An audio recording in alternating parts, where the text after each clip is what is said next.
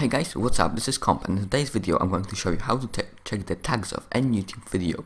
So the first thing you have to do is open Google Chrome. Then you type TubeBuddy into Google.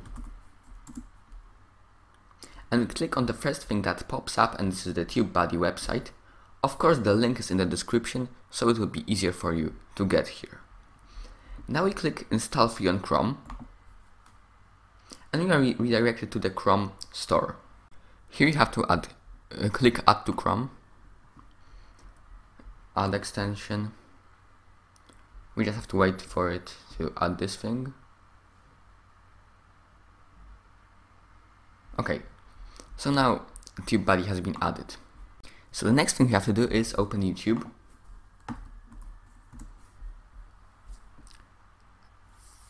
And as you see, TubeBuddy has been added here, but we have to sign in. So we just click here, we click sign in with YouTube, we choose the account we want to sign in with. Here you have to press, press allow.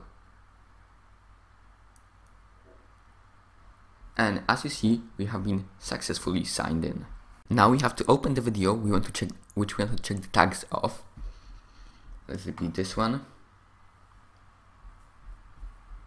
we go down, and as you see, TubeBuddy has added some other tools in here. We have stats, tags, and tools. We just press tags, and here are the tags of the YouTube video.